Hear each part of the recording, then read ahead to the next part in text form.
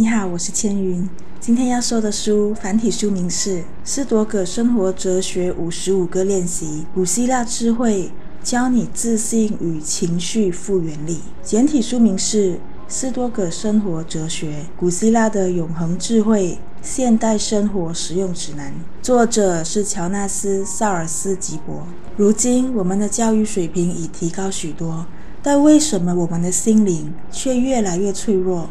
越来越紧绷，甚至我们一点都不知道要如何解决情绪问题。学校教我们在工作上能够运用到的各种知识与技能，却没有任何一堂课认真的教过我们要如何处理情绪，如何消化情绪，在哪里又能找到快乐与平静？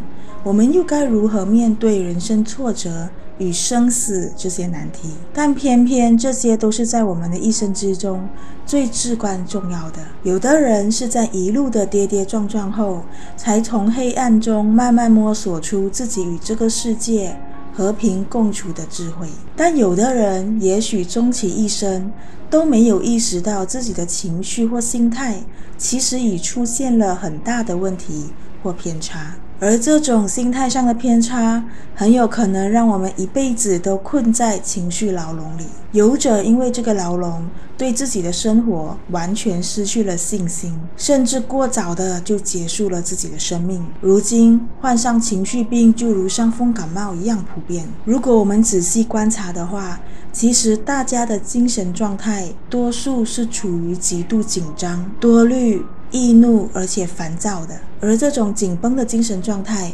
也许在短暂的玩乐后能够获得暂时的舒缓，但这些娱乐活动终究无法解决我们真正的问题，终究是治标不治本。情绪问题就必须从情绪的层面上去处理，而不是仰赖外在的事物将这种情绪短暂的给压制下去。追根究底，其实我们每个人所做的每一件事。所追求的理想生活，都只是希望自己能够获得幸福快乐而已。但同样的，也是为了追求这样的幸福快乐，我们却感到越来越不快乐，一点都不幸福。这到底是为什么呢？两千多年前的斯多葛哲学已经告诉了我们答案。今天要推荐的这一本书，是一本古老的智慧哲学书，里头更是包含了五十五条。如何将斯多葛哲学运用在日常生活中的智慧？当我们面对挫折时，当我们独自哭泣时，当我们惶恐不安时，我们每个人都迫切需要这些智慧的牵引，而哲学也能成为我们人生路上一盏盏明灯，带领我们走向一个阳光明媚的幸福之路。什么是斯多葛哲学？曾经推荐过古罗马帝国皇帝马可斯·奥里略的反省笔记。沉思录，这位皇帝就是一位斯多葛哲学家。斯多葛派其实是唯心主义哲学，主张的是遵从自然与本性、理性的活。物质对斯多葛派来说不是最重要的，因为斯多葛哲学的终极目标是为了获得幸福，而这种幸福不是来自外在，而是内在。在斯多葛哲学里，想要获得幸福。就必须围绕这三大核心：一、遵循德性生活；二、专注受控之事；三、承担责任。遵循德性生活，就是要成为最好的自己。最好的自己也是内在那个最高的自我，而这个自我必须遵从本性生活。听到这里，你应该还是觉得很困惑：什么叫本性啊？在斯多葛哲学里。我们每个人天生都拥有美德的本性。所谓美德，就是内在的一种智慧或力量，去做一些勇敢、善良、自律等恰当的行为。其中有四项基本美德：智慧、正义、勇气与自律。而与这四项美德相反的，则被斯多葛派认为是不道德的，也是导致我们离幸福越来越远的原因。所谓智慧，就是懂得恰当的做事、恰当的感受，是拥有良好的判断力以及洞察力的。与之相反的是冲动或愚蠢。所谓正义，是与他人交往时所体现的善良、正直与公平的行为。与之相反的是不公正。所谓勇气，是在感到恐惧时也能正确的行事，这也包括诚实与自信。与之相反的是懦弱。所谓自律，是在强烈的欲望或厌恶情绪下，依旧选择正确的形式。这也包括遵守秩序、自我控制、宽恕与谦卑。与之相反的是放纵。以上这些美德，其实我们每个人都具备的。根据斯多葛哲学，他们就是我们的最高自我。在斯多葛派哲学里，又称作内在精灵。内在精灵原本就是快乐的，是乐于助人的，是慷慨而自信的，是拥有很多美好的特质的。也就是说，如果我们越能缩小现实中的自我与最高自我之间的距离，我们就越能感到幸福。这是无论住在多大的豪宅。开多豪华的轿车，任何钻石戒指都换不到的幸福感。这也是为什么斯多葛主张说，我们必须遵从德性生活。但同时要注意的是，斯多葛派不会因为你在某一方面展现了不好的特质，就否定了你在其他方面展现出的美德。因为斯多葛派也认为，没有人是完美的。我们在追求最高自我的同时，也会暴露出一些缺点。这也是很正常的，毕竟我们这些普通人都很难做到像圣人那样的最高状态，我们最多只能试着接近自己的理想状态而已。同时，美德是要用来要求自己的，是为了接近我们的内在精灵，获得幸福感的目的，但不是要我们用美德来要求别人。就例如在《每天演好一个情绪稳定的成年人》一书里。有一段文字是这么写的：道德用于自律时，好过一切法律；道德用于律人时，坏过一切私刑。而这本斯多葛生活哲学也说，别人是否看到你高尚的行为并不重要，你取得进步并努力成为最好的自己就足够了。美德本质上是实践智慧的一种形式，知道什么是适当的事，并真正去做。这个世界并不是非黑即白。我们无法总能分辨正确的事，但可以总是向着更好努力。无论何时，都简简单单的去努力，成为关爱他人、关爱自然的好人。换句话说，就是培养自己的品格。那么，具体要如何培养自己的品格，遵循德性生活，以更接近我们的内在精明呢？这本书所提出的五十五个生活练习里。就提到了正念，来自古希腊两千年前的智慧，就发现了正念的重要性。在生活里保持正念，也就是我们常说的活在当下的概念。正念或活在当下，其实都能够很好的帮我们维持内外平衡的一种状态。因为正念的目的，就是要让我们变得有意识起来，自我观察、自我反省。才能够确保行事正确，而不是无意识的行动、无意识的反应、盲目的生活。正念或活在当下，绝不是要我们什么都不想，反而是要我们有意识的选择如何正确的思考，而不是一头栽入无谓的胡思乱想里。这也是为什么古罗马帝国皇帝奥里略。会留下一本造福许许多多读者的《沉思录》。《沉思录》就是他每天睡前所写的一本反省笔记，用意就是回想并思考当天所发生的事，并指出哪一方面自己的行事是否恰当，反省自己一整日有否遵循德性生活。美德是我们与生俱来拥有的。是一种自然的潜能。如果我们没有发挥这种自然的潜能，我们的外在与内在就会产生不协调。这也是我们感到难受、痛苦，甚至心态越发扭曲的主要原因。也是如此，斯多葛哲学说，我们要与自然，也就是我们的本性和谐相处，遵循德性生活。除了要发挥自然潜能，也就是我们的美德。同时也包括了理性的能力。斯多葛哲学认为，能够运用理性的能力是我们人类与动物最大的差别。这种能力也是我们的自然潜能。动物是顺应他们的野性过活，而我们人类则应当顺应我们的理性生活。也就是说，如果我们无法理性的思考与行动，例如失控发狂、四处招惹他人、意气用事等。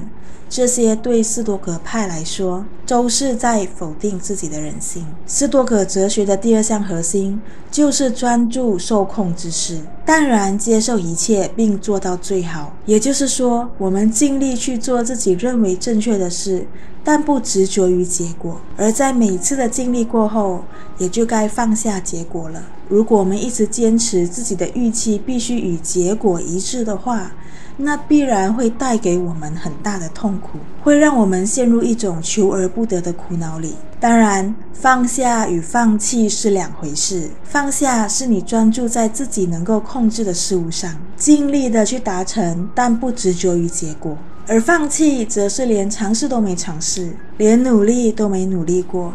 这与放下是完全不同的。就比如我们生病了，就该去看医生，然后听医生的话，按时吃药，同时尽力的照顾好自己的饮食与身心方面的健康。至于最后结果会怎样，会不会真的病死，这已不是我们能控制的事了。我们就该淡然的放下这种执着。但如果我们生病了，只是大喊一声“这是天意”，然后就待在家悲伤的等待死亡来临。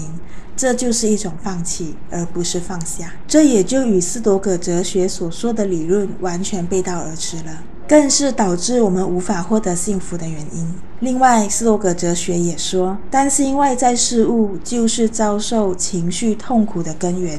有些事情取决于我们，有些事则不然。这也就是斯多葛哲学的二分法。我们的自然本性其实都能够赋予我们力量，就在于我们有没有去遵从他们而已。而我们的行为其实也会对我们的周遭世界产生了一些影响力，而这股影响力是好是坏。则取决于我们要如何运用自己身上的那股自然的力量。也就是说，其实我们每个人都有选择的权利，情绪更是如此。我们可以选择自己要用怎样的心态来面对事物的发展：是要淡然平静地接受事实，还是要愤怒悲伤地抵抗事实？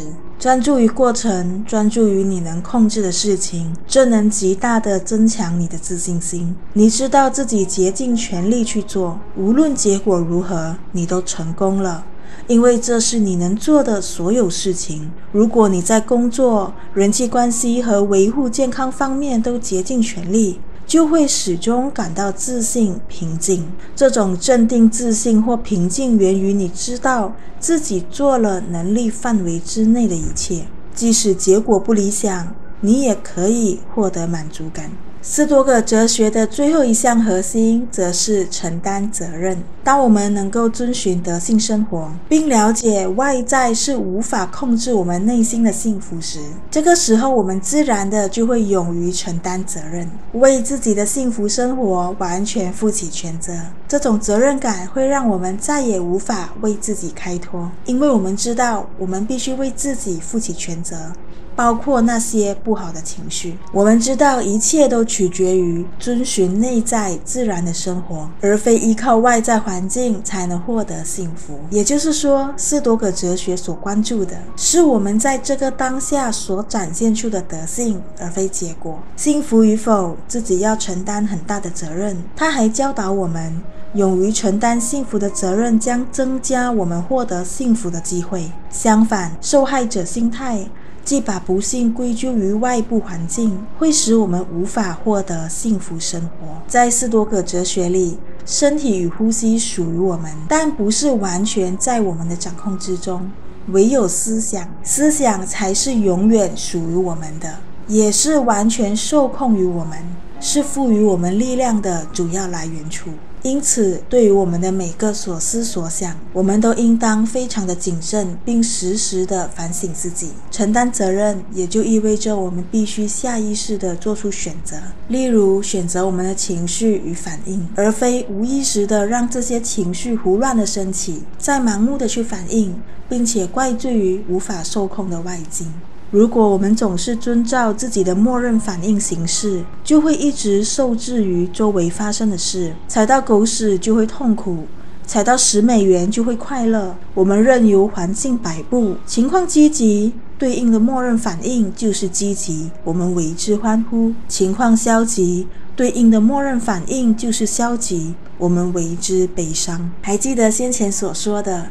斯多葛哲学关注的是自然的本性以及理性的活吗？理性能够让我们理智思考并做出恰当的行为。一个失去理性的人，其心智都是随外境反应的。但斯多葛派则说，唯有理性能让我们做出理性评估，然后选择与美德一致的反应，甚至在一些情况下。最好的反应就是不立即反应。幸福只取决于我们应对事件以及看待事件的方式。让哲学去除你的缺点，而非抱怨别人的缺点。记住，只有自己的看法才能让你心烦意乱。以上就是斯多葛哲学告诉我们的获得幸福的三大核心点，也就是遵循德性生活、专注受控之事以及主动承担责任。这是这本书的。第一个部分，而这本书的第二个部分，则是说明了五十五条斯多葛哲学的实用建议与训练。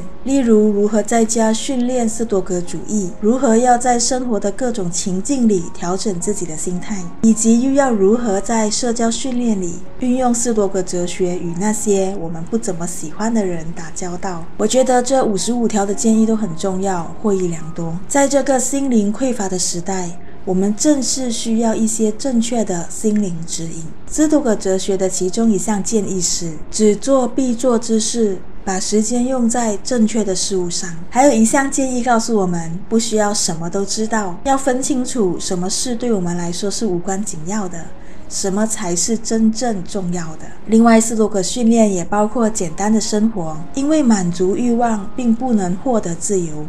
消除欲望才能。也许你会觉得，哎呀，这些道理我早就知道了。但其实很多时候，我们知道的都只是皮毛而已，没有确实的实践过，都不算真正的了解。就连古罗马帝国皇帝马可斯·奥里略，他都需要每天反复斟酌、反复实践，甚至是反复提醒这些再普遍不过的道理。更何况是我们这些普通人呢？盲目的、毫无意识的生活是最可怕的，因为那就意味着我们亲手将自己幸福的权利放在了别人手上。我们必须充满意识的去生活。才能获得幸福。也就是说，我们必须刻意的去观察生活，观察自己，我们才逐渐懂得如何幸福的生活。今天的说书就到这里，希望你会喜欢。我们很快见面啦，拜拜！如果你喜欢这支影片，请帮我点个赞，并订阅这个频道哦，谢谢。